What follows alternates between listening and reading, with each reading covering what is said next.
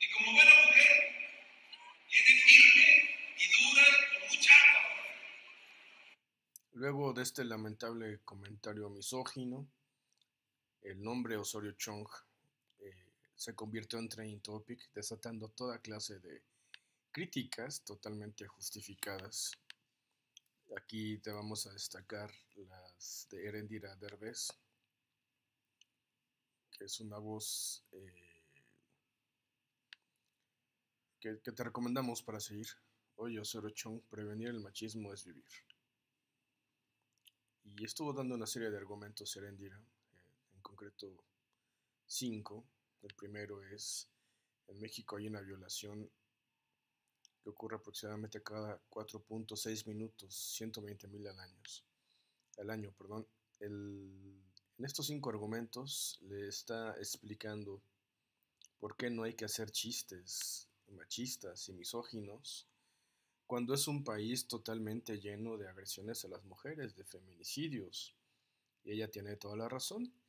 Y luego de llevar casi toda la tarde y esta noche como training topic, el secretario de Gobernación, Osorio Chong, eh, emite una disculpa que acaba de ser transmitida también en los, en los noticiarios y dice, siempre he sostenido que la mujer mexicana es fuerte, firme y decidida. Si alguien ofendió este malentendido, ofrezco una disculpa. Dice, aquí por ejemplo Sonia López Castro dice, simplemente dejen por favor, no solo políticos, sino cualquier persona, de hacer analo- analogías de algún evento, fenómeno, situación con la mujer. Y por ejemplo Campo Algodonero, este, que es una cuenta pues que relata los feminicidios en México, le contesta,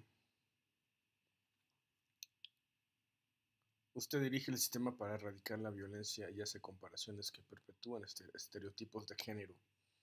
Más, más que ofenderme me preocupa. Y es que es cierto, no es una ofensa, es una preocupación.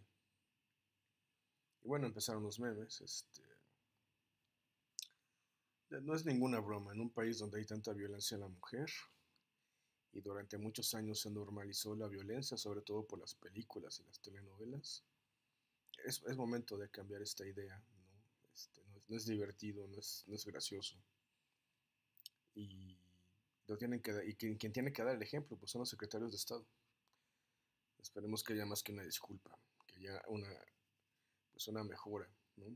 Este, tendría que haber renunciado, pero en este país es muy difícil que renuncien. Y la disculpa pues se puede interpretar como una victoria de las redes sociales.